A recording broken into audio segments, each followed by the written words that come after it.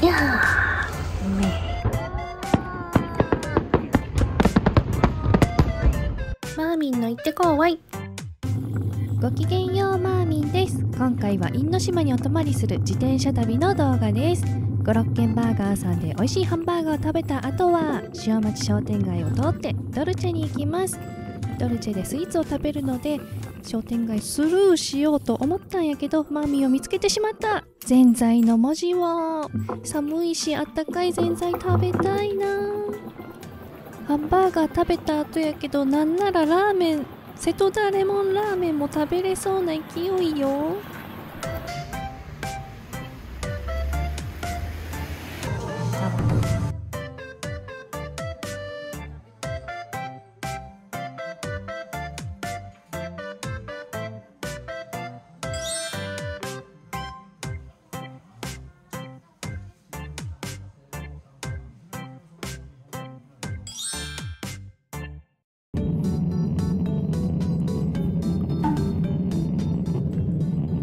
の間はドルチェはスルーずっとしてたので久しぶりにドルチェに行けます。今日は食い倒れ自転車旅。ドルチェは外せんよね。ワクワク。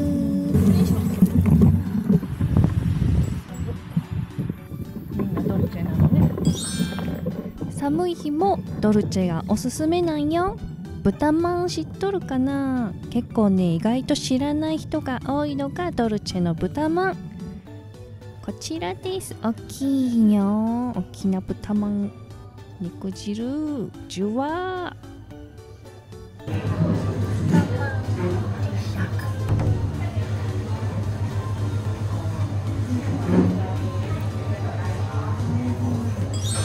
ジューシー。のドルチェの豚まんおいしい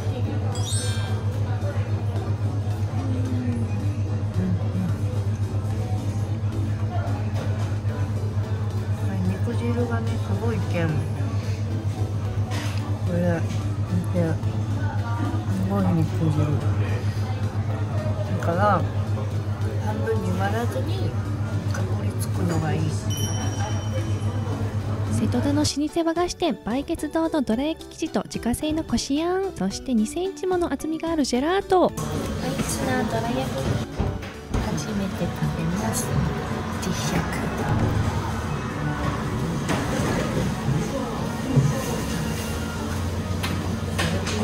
冷たうん、美味しい冷たい。その生地がふわふわ。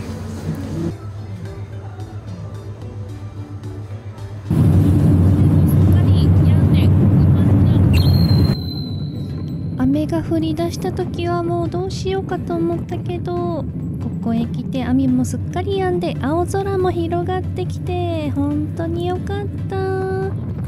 因島上陸。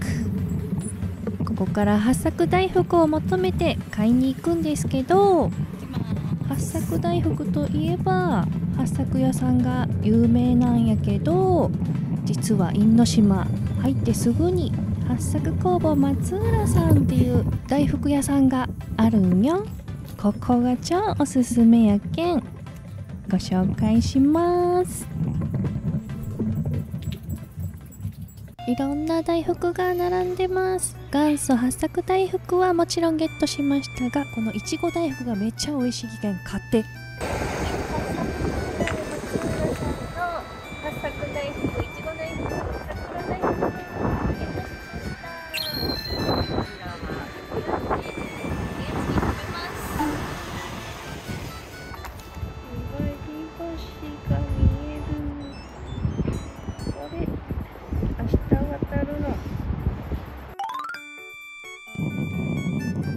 大好きな自転車神社さんへお参り。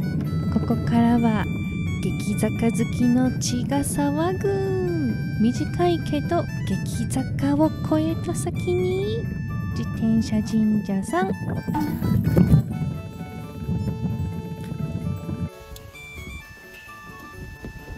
れでは耳の神様雨のお屋根の御事見にくぐり行ってこうばい。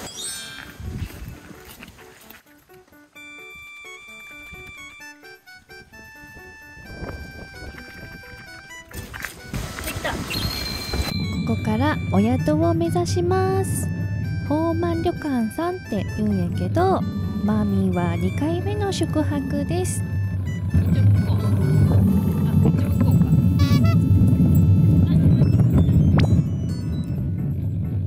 この辺は野良猫ちゃんが多いんですよ。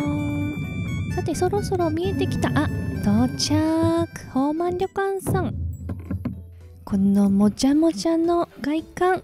唯一無二のお宿です。ジブリ感が気に入っております。中に入ると日本庭園風の中庭が広がっております。高級感あふれる中庭そして鯉が泳いでおります。あお部屋はこんな感じでございますね。和風のお部屋にお布団2つ。風情がありますね。そして中庭が見下ろせます。ここがまたね素敵なんですよ。お気に入りポイント。あちらの喫煙所で休憩もできます。お風呂は岩風呂でございます。熱々の岩風呂。とっても疲れが取れますね。夕飯が届いたのでオープン。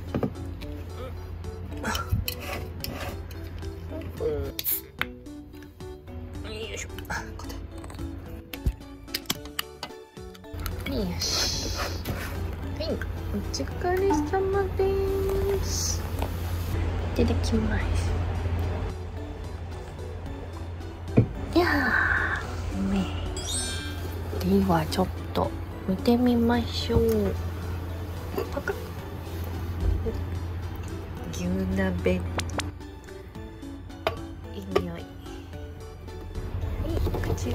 があったかい。パカ美味しそう。チャカで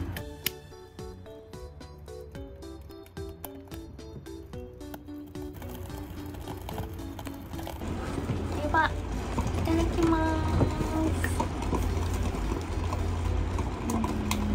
サーモンから食べてみましょうわさびがもりもりだ。G シャークあ蓋する忘れとった。危ない危ない、うん、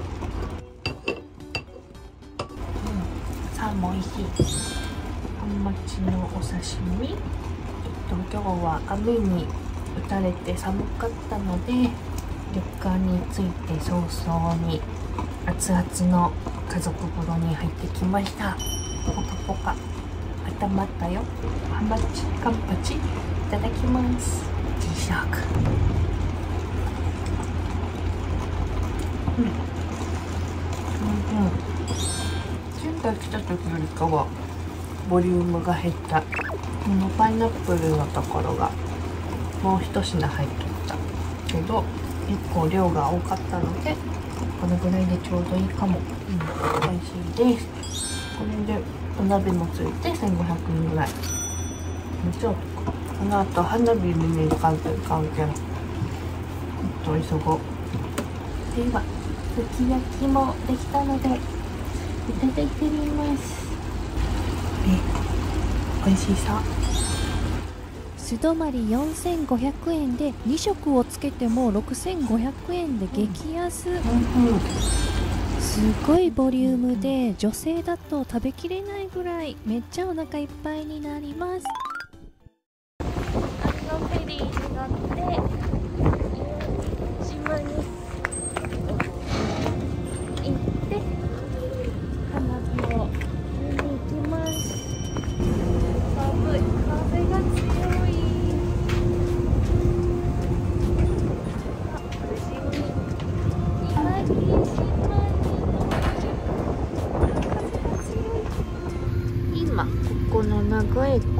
港に着いてで岩木橋がこの辺に通っててここからずっと花火が上がるのかなと思いますでもこの辺から見れそう。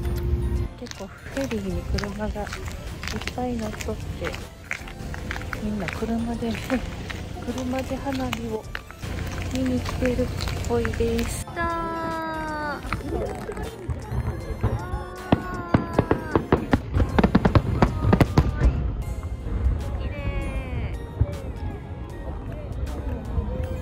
田舎の花火は近くで見れるけん